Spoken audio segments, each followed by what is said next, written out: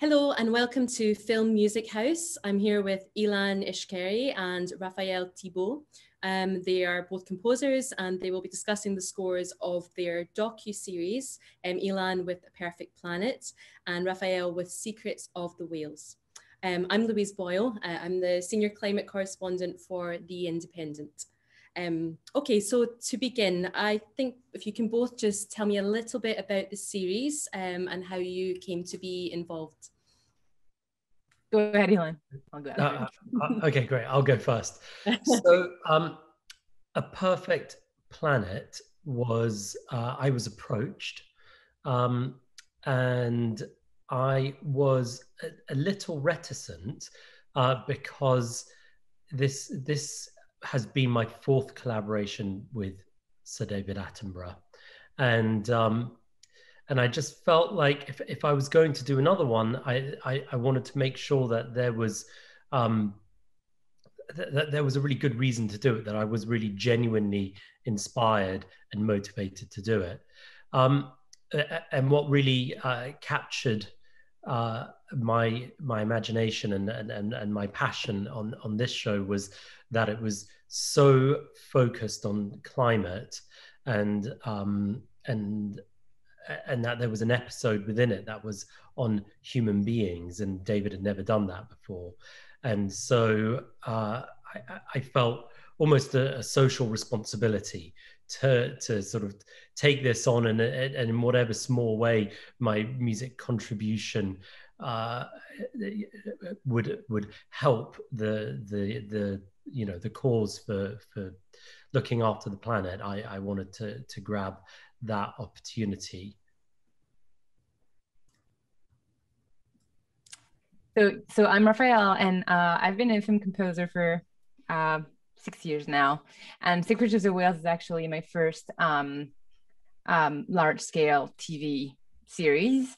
Uh, so very excited about that. I've been approached by the, the team at Red Rock, Red Rock Films a couple of years ago. Me and my agents have been approached by them, and um, I was supposed to, I was supposed to write maybe one episode because they were thinking about having multiple composers, like one composer per episode, and I ended up scoring the whole show because they were happy with what I did in the first episode. So I was very thrilled about that, and um, and to me it was a very special project because i've always been like a lot of people very much fascinated by the whales not just the animals but uh, just the musical aspect of these animals because music is definitely a major part of the way they you know communicate like the, their language and um, I've been always fascinated by this underwater world as well because this is a place that I will never be able to go because I had serious issues with my hearing when I was a kid, and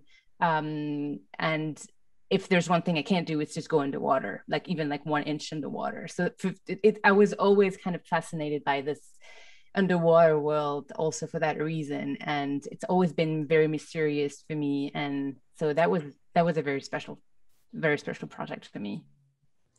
Uh, Raphaelle, I'm, I'm, skipping ahead here, but the, just from what you said there about the whales, um, it, it seems the case, but I had read that Brian Skerry, who's the photographer um, on the series, had said that scientists have been studying humpback whales for about 50 years and they still don't really understand why they sing. Um, so obviously that does seem like something that you've sort of built into to creating the, the score.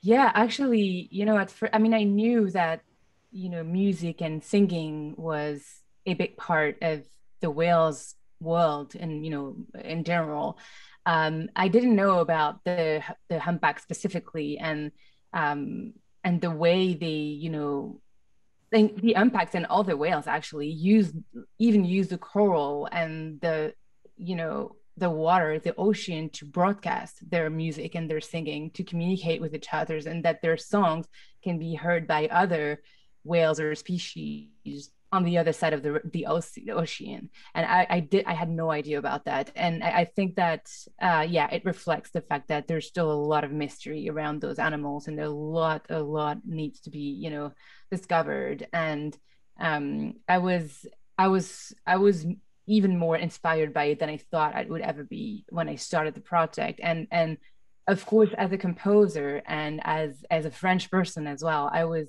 it was hard for me to, to think back, you know, about this this film in the 80s, The Big Blue, this French movie, um, and this incredible score by Eric Serra, who recreated those whale sounds, you know, out of synthesizers. They're not real whale sounds. And it was hard for me not to be tempted, you know, uh, by just doing, you know, the same thing, not exactly the same thing, but doing something around the singing uh, and and this music that these animals create. So that was a big part of my, um, you know, the, the the my approach when I first started working on that project. Yeah, for sure. Lovely. Um, I suppose let's just, sort of... yeah, I, sorry, I, love that. I love that was a reference for you because I I remember that. that that movie had a really big impact oh, on me. Um, it, it, you know, in my younger years, and I had one of the first soundtracks I ever owned, and and me uh, too. Uh, still, I really love that that that yeah. score and and that film. It's a, a real real masterpiece. Did you know that he actually recreated everything out of synth and that there's no, nothing that I did not know. So I'm so delighted to have to have that bit of information. That's yeah. that's really amazing. Um, I suppose a, a question kind of unavoidable and from the past year that we've had. Um, how has the pandemic sort of affected how you created the, your scores in a sort of a practical way? Has there been additional challenges for you both? It was, yeah, definitely for me. I, I think, you know, in, there's one aspect of it is that you're you're creating music and and that tends to be a pretty lonely job you sit in a room and try to come up with something and then try and make it fit the image um, so, so that aspect wasn't different, although it was a, a little bit cha- more challenging for me because I was uh, homeschooling my at that time my, my four-year-old daughter. So, so, so that made my my time quite limited, um, or, or at least I, I didn't get long stretches. Uh, I, I just, you know, get sort of ten or fifteen minutes here before I had to go back. So, so that was uh, that was challenging.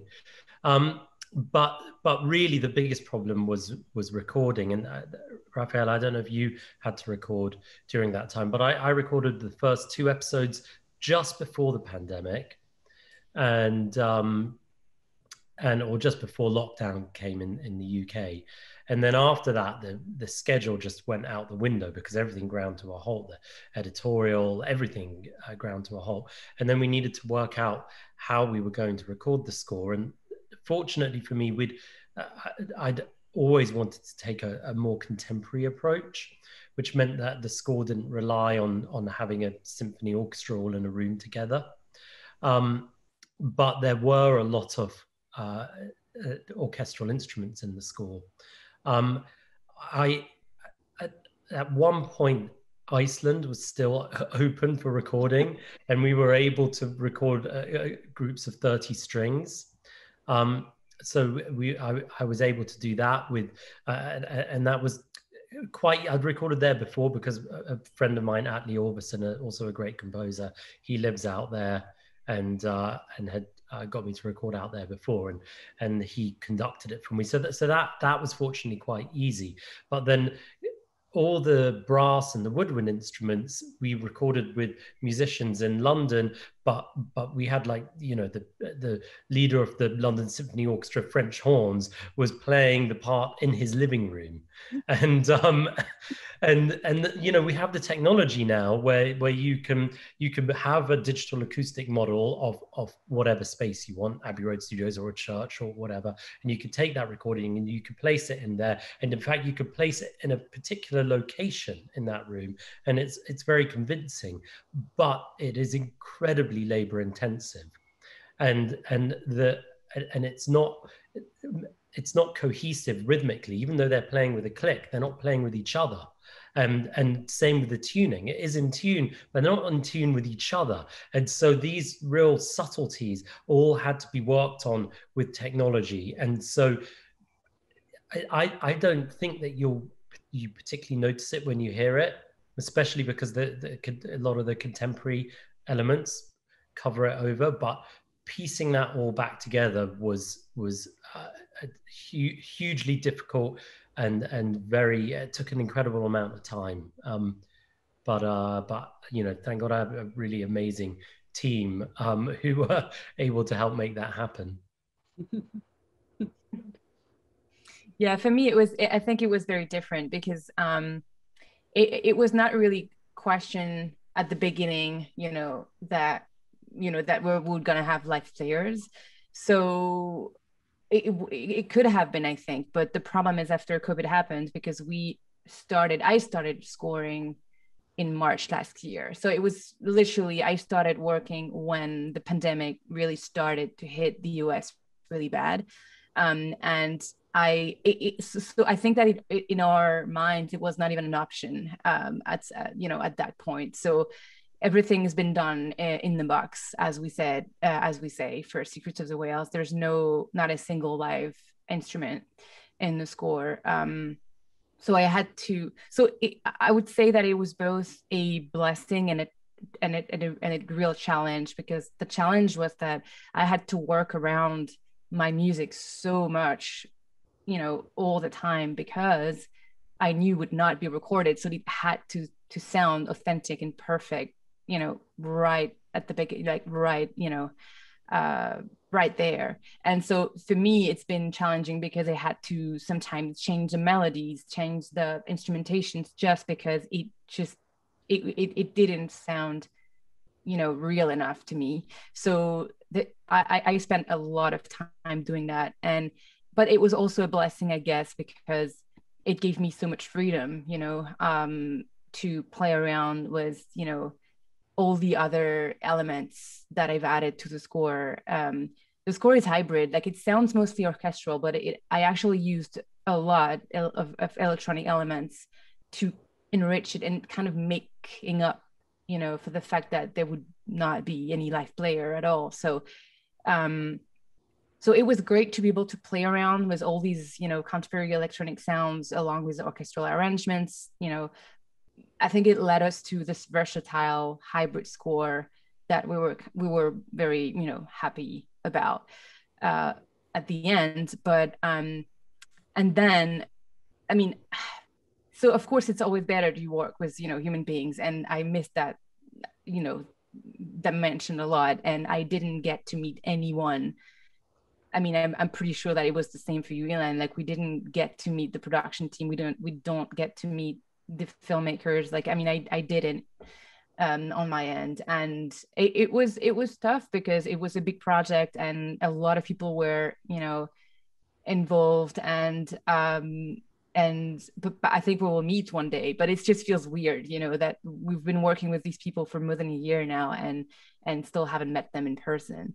Um and but but the good news is that we are going to have um, a, um, a live show uh, for Secrets of the Whale next year. So there's going to be a live orchestra. So I, you know, playing to the pictures, you know, mm. with like 60, 70 players. It's going to be a tour. So it's going to be super exciting. And I think we're going to make up for, you know, what we missed at that time around. Uh, but yeah. I, I think one of the challenges, eh, because of course I had the, the same thing. I, I'd fortunately met all the uh, directors of the episodes and the production team before lockdown happened, which I think is really helpful because, um, y- you know, technology allows for, for uh, so much communication. But I think especially with music, it can be difficult. I, I think it's really important to be in the room with people because you know music is is the the thing that you need where where words won't do. You know, it's the it, it, music expresses, especially in, in in film and television, it, it expresses something that that that words and language can't, and and so uh, and so I I get so much from sitting in a room with a with a director and a producer, and before they've even said a word. I mean, I mean, Raphaelle, I don't know if you you've ever had this experience, but I've written written a piece of music for a film and and thought it was absolutely perfect, and I've started playing it in the room with the with the director and the producer, and one minute in, I'm like, I know this is completely wrong, and and and. don't need words to know that and so not having that kind of communication is I, is uh, makes the job longer and harder as well. Mm, yeah, I agree. And getting, you know, immediate reactions on people's faces, like it's just a reflector of their immediate emotions, right? And you cannot get that in an email, nor in a Skype or Zoom or whatever. So I totally agree. And this relationship that you develop with the filmmakers in the same room while you know you're working not like not not just for the the screenings but sometimes you just you know improvise some stuff together and you see if it works out. And this is such a, a wonderful and paramount dimension of our work. And it, and it's it's it's hard as you said Ilan like it's a very very lonely job already. So if we miss this like and if we don't have that it it makes it even more you know closed and and so so yeah it's definitely harder the both series um i think when you've you know i've watched watched them both um they really uh, are sort of so compelling because they capture the personalities um of you know of the of the animals of the species and and you get the sort of sense that you know they're sort of in some ways just like us. Um and i just wonder if you when you're creating the music if you watch the footage or you know you watch it ahead of time do you sort of see these animals as as characters in the score the way you might um, if you were scoring you know something for film and television that had actors actors in it? Go um, ahead uh, uh, yeah sure. Okay yeah i i certainly do. I think i think that that um that for me the scenes were so different. Um and uh, and so I'd look at a scene and I and I'd be able to say, okay, well, you know, this this this scene with these ants, they, you know, they've got a really limited amount of time to go and get a bit of food before they get burnt to death by the sun. They've got to drag it back into their thing. And I'm like, that's like a heist movie, right? It's like a short film version of a heist movie. And and so I'd look at each scene and and and see what what the what the narrative of, of it was. Every story has a beginning and a middle of middle and an end and um, and then and then yeah, you, you'd sort of anthropomorphize these creatures. Um, but but I think the the balance is, especially with documentary, you, you know, with, with fiction, you can you can really push the emotional boundaries and and, and but but if you do that with uh, with documentary, you run the risk of making the audience feel like they've been emotionally manipulated, and if and if they feel that, then then then the authority of the documentary uh, begins to to crumble. So so there's a there's a fine line. You don't want to push it too far. So so I'm just always watching for that the the balance of of those two those two things. That's such a good point. Um, yeah, I, I guess that for the whales, like the whole point of the show of Secrets of the Whale, the thing is about it's just to emphasize the fact that the whales are like us at so many levels that we don't know. Um, and that, you know, they they they have societies that are very similar to ours and they have emotional lives that are very, you know, similar to ours. And it these are very sophisticated cultures and it's like a mirror you know of ourselves. And they isolate themselves by language identity matters to them. Um, uh, they have parenting techniques they have feeding strategies you know techniques that change depending on where they are. Um, so all this really i was not expecting uh, because it it i related so much more than i thought i would. And and obviously i think my music uh, illustrated that. Um, and you, you know i mean i i guess it was it was like little stories you know and all these family you know small family stories that we get throughout the show. For example this grandmother teaching you know the grandchildren how to hunt or or this mourning mother who you know that's carrying her dead baby for days because she can't let go because she's too sad. Or um, this this uh, orca uh, that's feeding Brian Skerry at some point. That's like she's trying to, she's handing like she's basically offering him a fish because we don't really know why, but probably because she thinks that uh, might be hungry. It's too tiny or whatever. But it it really helped me to see them, you know, as characters like i would see characters in the movie and uh, i was not expecting that at all from from a documentary about whales and i, I found it really fascinating. Does that change then? I mean but you, you kind of touched on this before but you know with nature docu-series there's often this is sort of soaring epic orchestral sound that sort of overlays the whole thing. And and you when you see scenes like for example with the whales you know the mother mourning with the you know the her calf um how do you sort of create that intimacy you know that really draws the the viewer in well i'm i'm i'm i'm trying to i've, I've tried to be consistent you know so I wanted, I, I, worked, you know, on one episode at a time, but I really tried to be consistent in a way that was approaching these big epic moments as opposition to those very uh, intimate moments. Like you're very close to a family moment that is very, yeah, intimate. And I think that's um, almost instinctively, it was not even a creative choice. I, I just went for uh, solo strings, you know, uh, for all of these little small family intimate moments but it, it's it's i think it's still epic in a way but i had to be very mindful because i didn't want to overstep you know what, what was going on and be too obvious you know about the, the the emotions that we had there exactly as you know ilan mentioned earlier and um it was tricky sometimes because you know you want to illustrate a moment that is both surprising disarming sad um, but majestic. Uh, so you have all of that has to be in the queue, but you know because it's intimate, it has to be small. So that that was that was very interesting slash challenging. Uh, yeah.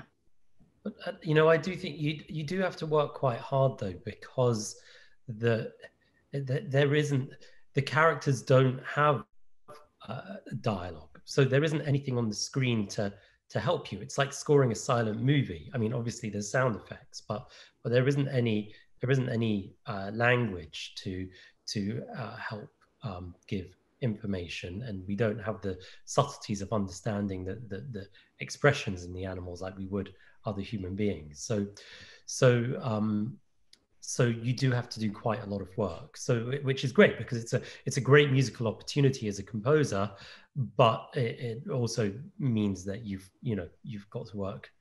You've got to be really good at what you're doing. Yeah i mean the narration i think fine like i found it helpful when there's narration you know but even mm-hmm. that even then you have to be careful because you know there's so much going on at the end even even in those i find actually and in my experience like even in those intimate moments where you have narration and you have the sound effects and you have these nature sounds that are to me already music you know? So it's it's always kind of you know there, there there are many things at the same time you have to work around with and and and it's true that there's something you have to like something that's lacking you have to make it for with the music and exactly you, you have to you have to hit the right spot for sure.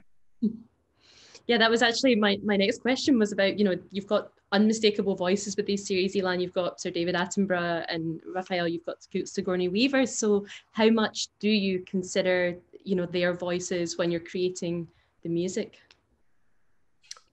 Oh, a lot for me. I mean, you, I mean, I, I think it's it, you know, it, it, for me, it's like David Attenborough is the lead singer of the band, right?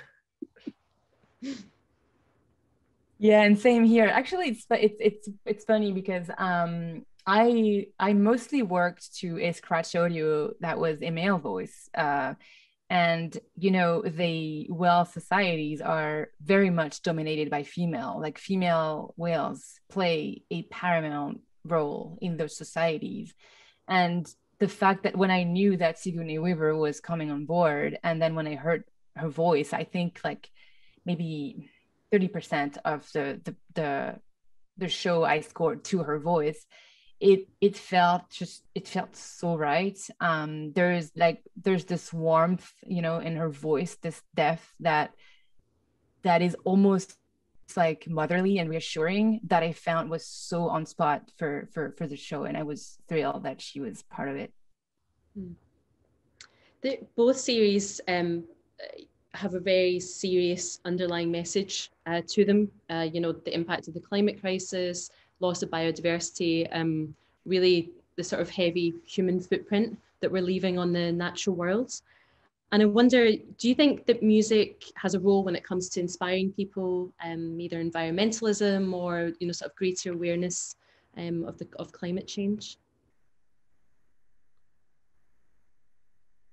Um, yes, I mean, I, I think I think music has uh, throughout the ages has played a role, and, and especially in you know throughout the last century, played a really important role in social uh, and political movements. Uh, and so I don't see why it can't um, play a role here as well. Um, y- you know what I I really was inspired by uh, in one of the in the humans episode. Uh, they had uh, school age. They had school age activists uh, talking, and uh, and as I said, I was at home with my daughter the whole time, and so I, I just became very aware of of of this, you know, the the way that I was teaching my daughter to recycle and and and and that you know we're we're leaving this planet for the next generation and you know the, these thoughts really played on my mind and and I, would written this theme that ran through the show and uh, and my daughter kept singing it back to me, which is quite unusual. She's normally not interested in anything I'm doing at all. Um, but um, but uh, and so I thought, oh, this is quite a simple theme, and maybe children could sing it. And when the lockdown lifted uh, over here in the UK, the timing was kind of perfect. And so I got several children's choirs to come and sing on the show. And those kids from those schools were uh, were very inspired and very excited to to be a part of it, and um, and, and so maybe in some way it helped to to to educate them a little bit more. And and uh, you know Raphaelle was talking about that you, you you're going to be doing shows and and I would love to be able to do something like that with children's choirs. Um, you know something we've talked about but uh but uh, we'll see if it happens. But but I, I would love to inspire children and to help educate uh, through music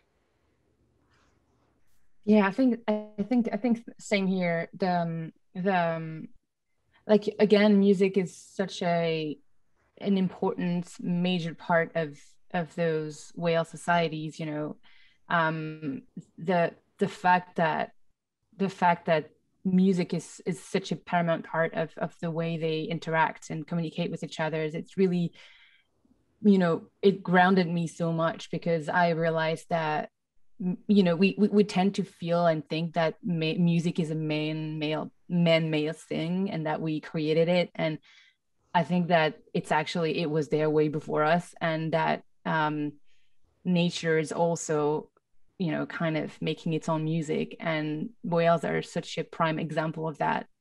And the fact that music is such a important part of of our you know societies like human beings it's another layer for me um you know in this show of that that that, that just demonstrates how similar we are and what i really love about this show is that it's not going to focus on how we have to blame ourselves for all the things we're doing wrong. There are tons of things we're doing wrong, definitely. Um, but I also like that this is a new kind of it's a new way of trying to reach people's mind and hearts, you know, just by showing them how similar we are, you know, to those animals and that we are all we are all sharing the same rock and we we're all the same. And and I think that this is a very smart way to reach you know the audience and make them feel that they have to protect them because by protecting them them they protect themselves they protect our own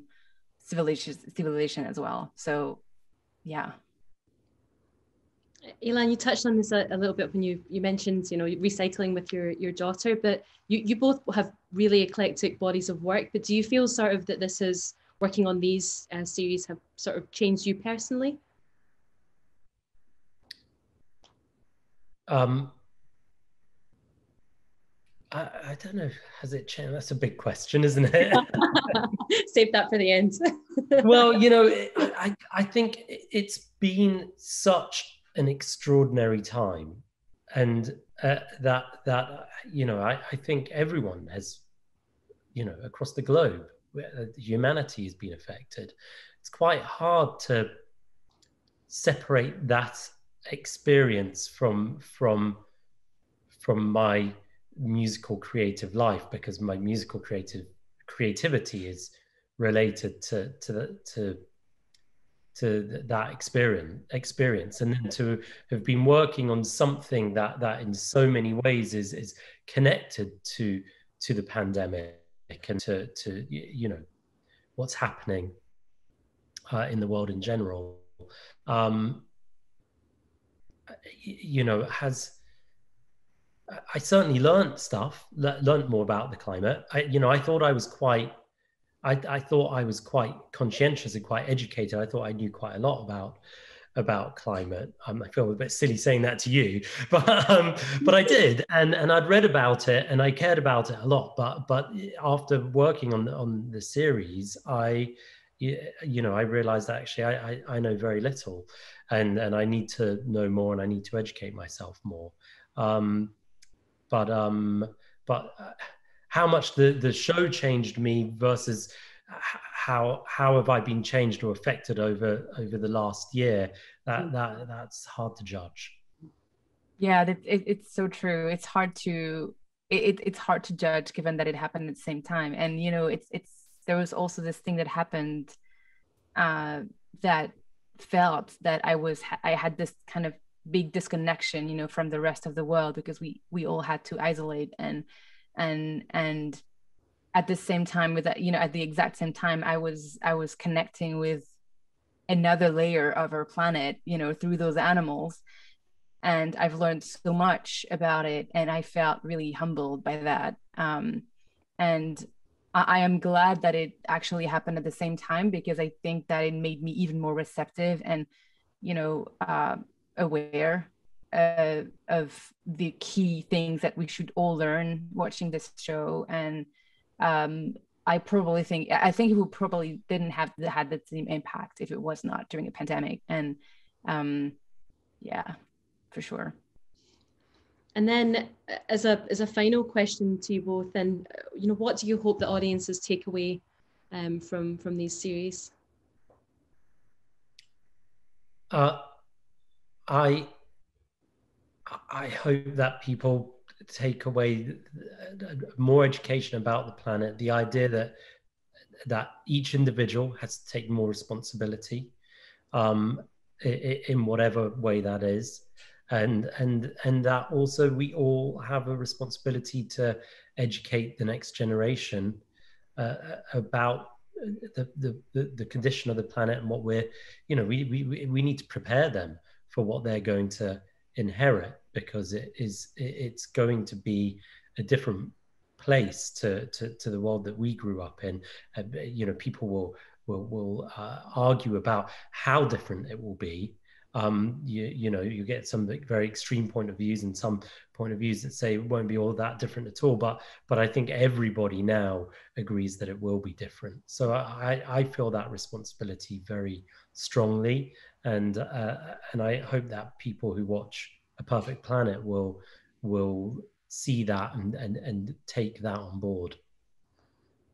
Yeah, I feel exactly the same. Um, I, I feel like I, uh, I mean I am I'm, I'm optimistic in a way that I feel like there are much more way we can leverage that than I thought we had you know in our hands, and it and it it also you know includes entertainment and um I've really realized through this series that this is this is incredibly powerful if we're doing it the right way.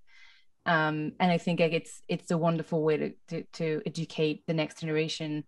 My son is a little is a little young, but um, I hope that very soon I will be able to show him, you know, um, um, this this show and others and many others. Um, and and I think it's it's i think we, we we are very lucky and i feel very lucky to be able to you know uh have those kind of signals and messages go through like through art through our music and through something that people actually enjoy watching. Um and i i totally agree. I think education is is is is like maybe 90% of the job. And and i i am optimistic because i feel like there's more there's more knowledge and and you know sensitivity in in the next generation. And i feel like they are more aware of you know we've ever been about all those things. And i hope they won't hate us for that later on. But um yeah i'm pretty pretty optimistic about it. And it includes the consequences of the pandemic and you know the like series like uh, series like the perfect planet and secrets of the whales think that's a that's a good optimistic note to to stop on. And um, thank you both uh, so much for your thoughts and for telling us all about the, the series. Thank you so much for having us. Thank you.